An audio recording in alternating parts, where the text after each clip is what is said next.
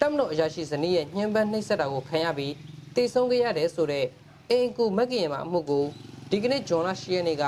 ရန်ကုန်တောင်ပိုင်းခရိုင်တရားရုံးမှာစစ်ဆေးခဲ့ပါတယ်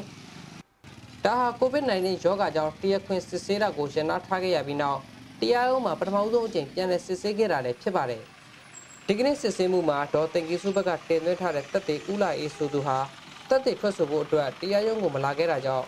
ဥလာအေးဆိုသူကိုတပ်တွေစီးရင်ကနေပယ်ဖျက်ဖို့ တောင်ပိုင်းခရိုင်တရားရုံးကဆုံးဖြတ်ခဲ့ပါတယ်။ဒီနေ့စစ်ဆေးမှုကဒါသူတို့ CJ ပေါ့နော်ဥလာအေးကိုခေါ်တယ်ဥလာအေးပဲ့တယ်ပေါ့နော်ဥလာအေးမလာဘူးဒီနေ့မလာတော့အန်တီတို့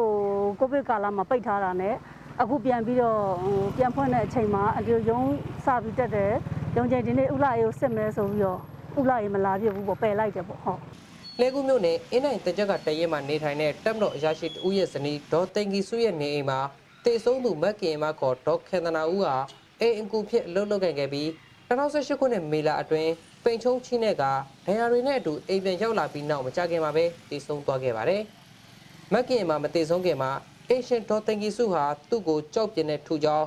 ဆွဲကြိုးခိုးတယ်လို့ဆွဆွဲပြီးညှဉ်းပန်းနှိပ်စက်ခဲ့ကြောင်းပြောပြခဲ့တယ်လို့အိမ်နီးနားချင်းတွေကမီဒီယာတွေကိုပြောဆိုထားခဲ့ပါတယ်။လက်ရှိအမှုရဲ့အခြေအနေဟာ တရားလိုပြတက်တေတွေကိုစစ်ဆေးပြီးစီးသွားခဲ့ပြီဖြစ်ပေမဲ့ဒေါ်တင်ကြီးစုဘက်ကတရားခံပြတက်တေ18ဦးကိုတင်သွင်းထားခဲ့ပါတယ်။အဲ့ဒီတရားခံပြတက်တေတွေက10ဦးကိုစစ်ဆေးပြီး2ဦးကိုတက်တေစင်းကနေတရားရုံးကပယ်ထားက